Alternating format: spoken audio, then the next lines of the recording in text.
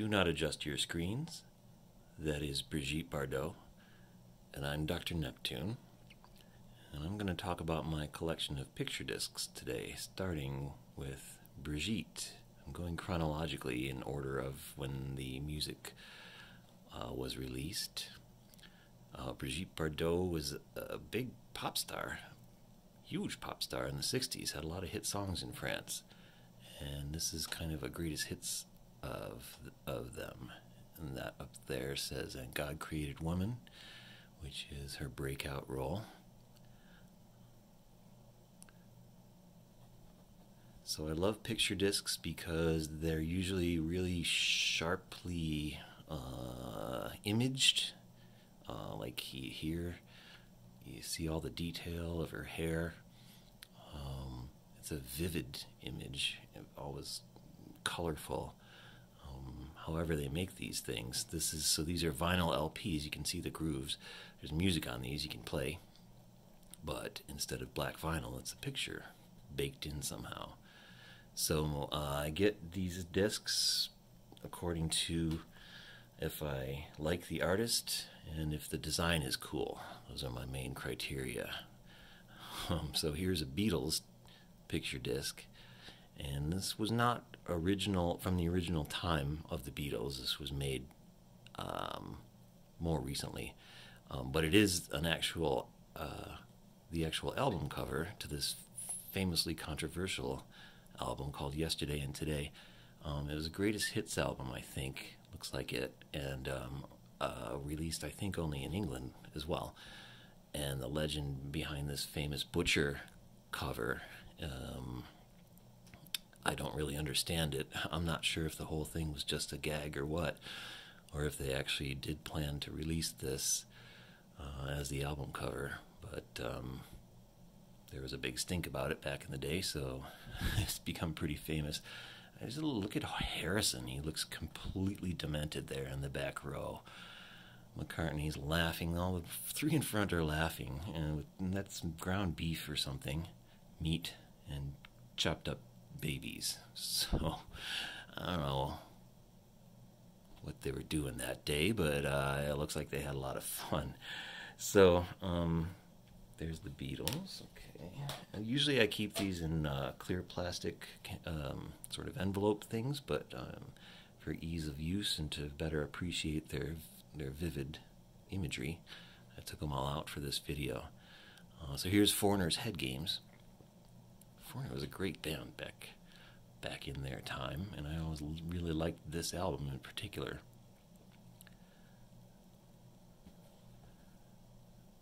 From the late 70s.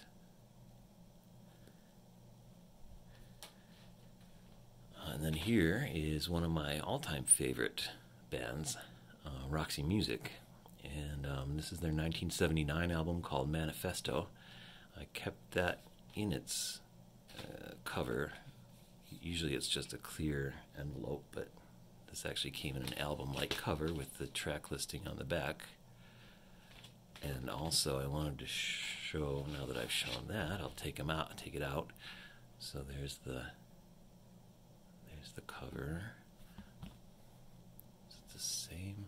Looks like, yeah, it's the same image on each side. Uh, what I really like about this is that it's not the same as the original album cover, which is here on this CD release. And as you can see, what the picture disc has done is removed all the clothing from all the mannequins. So they're in the same position, but all naked. Roxy Music was known for their provocative album covers. So that's a great tribute to that, or addition to that. Here's Bowie's Scary Monsters, one of his best albums, I think, from the early 80s. Oh, 1980, it says there. Always really liked the artwork on that.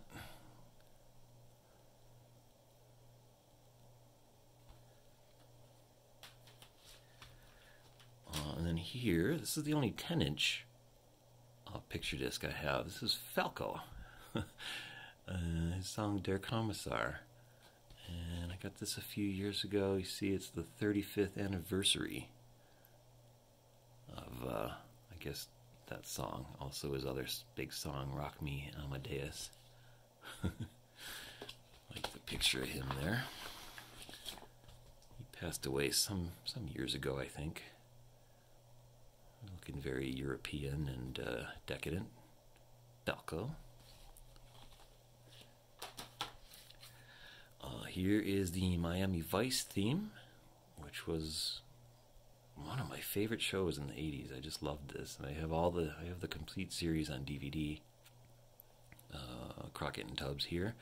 Jan Hammer, that's the famous Miami Vice theme.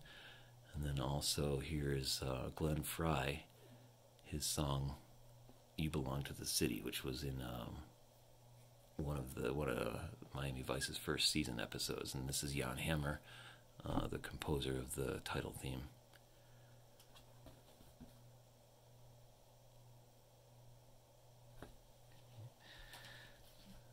This is uh, Purple Rain, of course. Really vivid colors and images on this one. This is a more recent one. I think I got this maybe probably last year, and it had just been made then. I was really struck by this one in particular, how clear the image is. I actually played the whole thing too, front and back just for old time's sake. And uh, I must have seen this movie ten times back in the 80s. Here is Madonna, Ray of Light. This is her great uh, kind of comeback album in the 90s, I think. Um, yeah, so that's basically just the picture disc of the album front and back. This was her first album that really went into modern modern music, electronic type sounds. 1998 is the date on this. Okay. So, love this album. Love Madonna.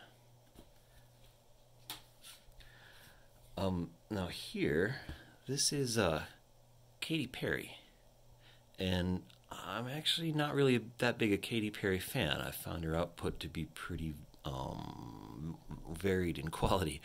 Um, but I had to get this.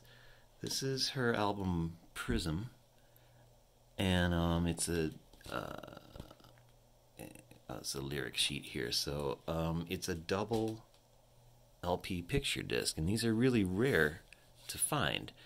The only other one that I know of is the other one that I have, which is Frankie Goes to Hollywood's Welcome to the Pleasuredome. So for that reason, and I do like Katy Perry, some of her songs. Um, for that those reasons, I got this. But also, I'm just stunned at how really beautiful this is. Also, I think they're making these differently somehow more recently because it's just really sharp colorful uh, pictures here. Very, very beautiful. So, one of my favorites. And then the, uh, conclude with the only other artist I think besides Frankie that I have multiple discs of, and that's uh, Lady Gaga. Right, so this is a seven inch uh, picture disc I have three of these that I'll show. All three I got in a small record shop in the French Quarter in New Orleans when I went there on a business trip. Um, and these are her first singles from her first album. I'm not sure even which one is which, but very cool colors. This one is Paparazzi.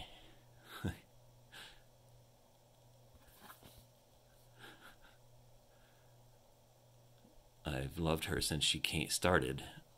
Uh, never expected her career to go the way it has with Hollywood movies and uh, you know duets with Tony Bennett and all that. But she and you know the Super Bowl and everything. This time I just thought she was a freaky dance diva, but uh, just love all of it. Not sure which one that is either. And then I have the besides those, this is um, uh, from her second album, title song, Born This Way.